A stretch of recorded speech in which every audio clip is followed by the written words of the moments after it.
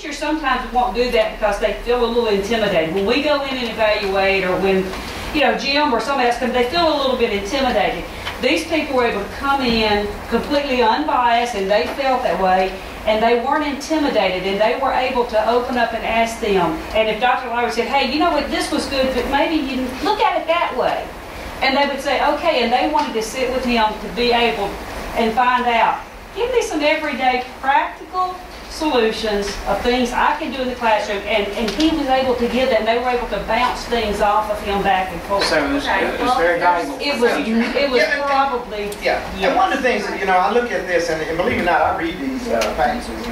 I guess I'm everything else to do because I'm retired. Um, On, on page 47 in this uh, attachment, they have, you know, he says, the idea, he says, diagnostics, prescriptives, uh, developmental, sustainment. These are the things that, you know, where, where were we, what, in general terms, what we did and where we're going, and how we want to, you know, continue to say. I, I know that, I mean, it- it because it's sounds kinda easy like- when I'm up here it does. Because it's kind of like that, this. yeah. We were doing things, but what he did, he came in and told us how to Refine. how, refine, how to, how to, how to strengthen our curriculum, how to pick up the rigor in the classroom, how to pick up the rigor on the evaluations. Uh, You know, that's what he did, is he helped us strengthen our curriculum so that we could help the kids and help meet the rigor of the new curriculums and what these tests are requiring. We, we just want to make sure if a dollar spent is a dollar Yeah, earned. because It was definitely- 30K last year, 42 this year, 56 It- it was next year. Dr. Hamilton can tell you, it's, it's being paid with Title I and Title II money. And Title II, a certain amount has to be spent on professional development, right? Title II is professional. Title II is professional development. So this is where we're bringing in somebody that impacts everybody on the staff instead of sending people out all over the place. All right. And the thing we're focusing on here, just to finish up, is you're asking for a synopsis. It's very hard, and we're actually trying to move away from that.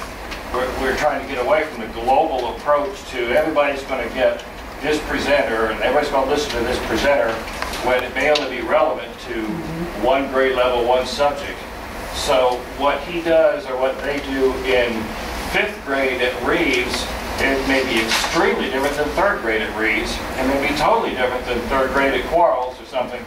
So it- it's, uh, it's very directed and prescriptive as to what's happening. So a synopsis is, is too broad. It's extremely broad. I mean, So if we want to It's not look very at something, they have the data. We have, we have a notebook about the size of that, one. we will be glad to So, copy and get to you if you would like it. all right. And we're actually still working on that because we're just getting test results back, so we will update the James, results. so I don't like much. reading encyclopedias. You're That's why retired. we're going to You do do. something, so much. All right. All right, so, all in favor of the Millennium Educational Systems? Aye. All opposed? All right. Number 10, approval of transfers and withdrawals. Do I hear a motion to? Motion. Second? All in favor? Um, I, I would just want to, to comment on this a second, only because, um, I- I'm lost now. Uh, a number of them were, were, were, um, military, but there was, there was, That's not that one, Craig, this is another This one. is- This is This is, This is the, not to. This is the agreement with Gulfport. right. What they're asking is, because they're getting these military in, Aye. they wanted a standard form just outlining the fact that they will not send their local district money with us, Okay. to us. What we will receive is from the state on No ADA. district. No district money, and we wouldn't allow any of our district money to go with somebody that we that's fine, that's fine. Even whether it's a teacher or anybody else, your local money stays local. So I don't think they Any trust us, and they questions? wanted it in Next. contract form. All in favor? Aye. All opposed? All right, number 11, approval of audit contract for FY10. Do I hear a motion? Motion. Second? Any discussion? Yes, uh, we, we, um, last year or year before, I'm not sure exactly which, when that occurred, that, um, we were talking about, uh, the state said that you have to change your auditors every three years. Where are we in that? This is the first year. This is changing it. Right. This is the first year That's of why- this auditor? Matter of fact, these people came to us a year ago, and uh, Fortenberry, Jack Fortenberry is who we've used in the past. Right. And uh, because we've used him the last three years, we had to make a change this year. We told this firm last year, because they were very price competitive compared to uh, Wright, Ward, Hatton and Gould, and then Fortenberry and them. And we told them, I said, I'm gonna keep Fortenberry my third year. I said, but if you'll come back next year and give us a proposal again, I said, I, I will most likely can do business with you and, uh, so we are, we are in We our are in change. compliance. So that's, that was my question. Are we in compliance? This is the year that we've got to Okay. change. Good job. All in favor? Aye. Opposed? Jamie's not worried either, are you? Num- Not really. Number 12, approval of salary schedules and changes. Do I hear a motion? Motion. Second? Discussion? What?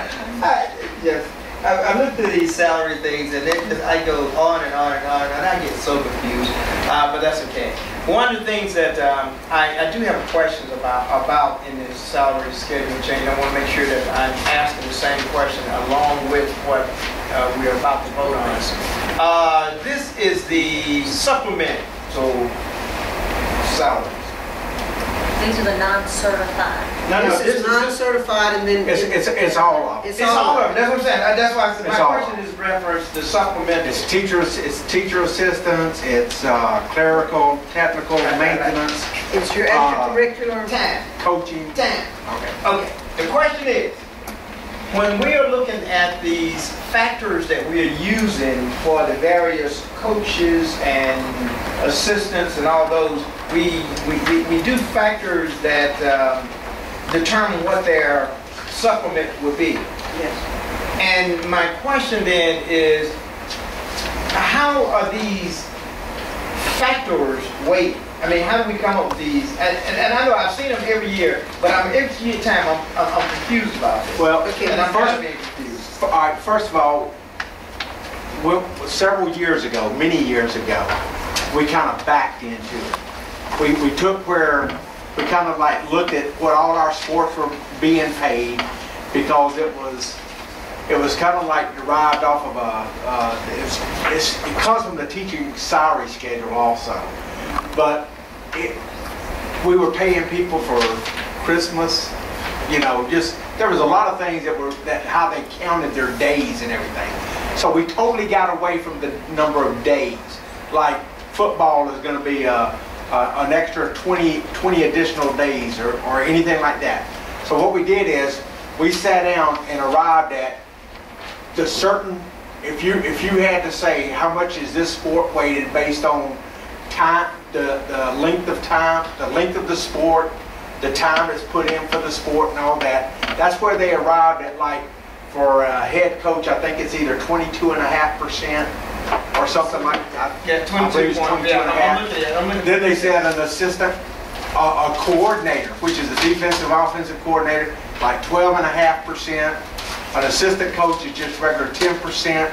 And then they looked at all the sports and they came up with these different percentages for those group of And, things. and it was a committee who redid this, several board members and, um, an athletic director two or three years ago. I know Ms. And Leatherwood was. I've been more two or three years. It's been, it's been in effect since I've been here, and every time I look at it, I say, what are these factors? No, we did this And- and- three years ago, before you on it. I don't think I was, I don't think I was actually on the, You, you were on it, I know, along with, with, I um, was actually on. We may have redone, we may have redone some percentages, yes. we but we were realigned already it. were using, This was this, when I came on the board. we were using the You were using percentages. percentages, you redid it about three years ago, because. The other thing that we said is that uh, whether or not somebody has a AAA or a master's or whatever has absolutely nothing to do with the coaching, the teaching degree as far as a master's degree and all that. So everything is tied to number of years of a teacher. So if you're a 13-year teacher, then you're going to multiply whatever factor, whatever sport you're in, times that 13A certificate. If you've got 25 years, you're going to multiply it against the 25-year, uh, uh, the what?